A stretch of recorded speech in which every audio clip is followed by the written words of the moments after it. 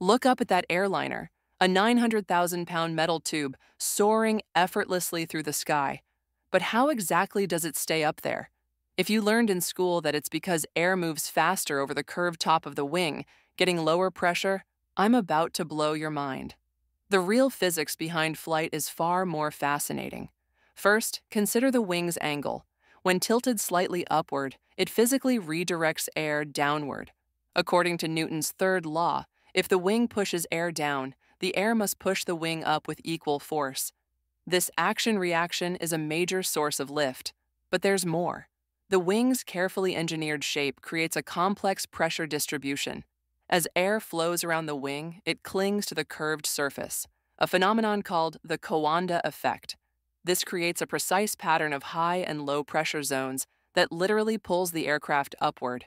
Even more surprising, a flat sheet can generate lift if angled correctly. That's why paper airplanes work despite having no curved top surface.